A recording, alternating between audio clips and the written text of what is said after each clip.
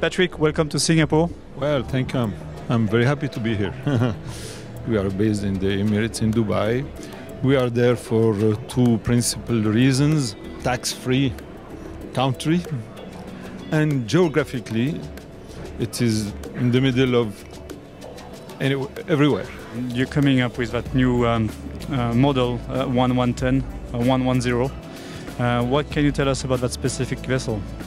Well, this vessel is studied for this kind of weather. The boat itself is a very fast boat. It, is, it reaches 33.8 knots per hour.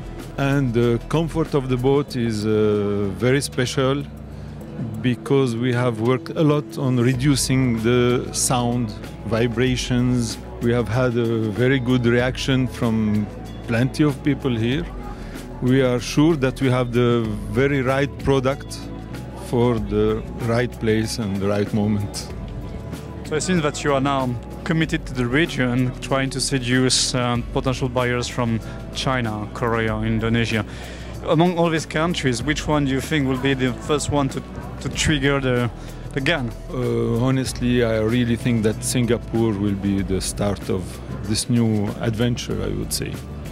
People are ready. We have to be ready.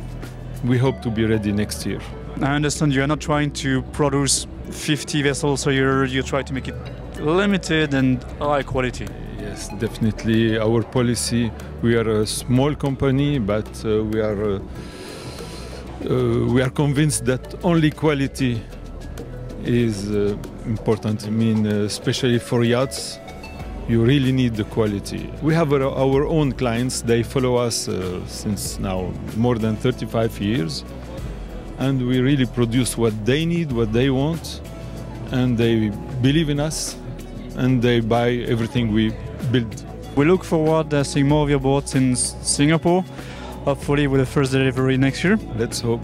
We are working very hard for this, and uh, yes, we are really optimistic. What about that new vessel? It is a 34 meters super yacht for less than 6 million euros, fully equipped. Fully equipped. You have nothing to add, just some fuel. a bit of water? Probably, yes. well, thank you very much, Patrick. That was wonderful talking to you, and we look forward to doing business with you.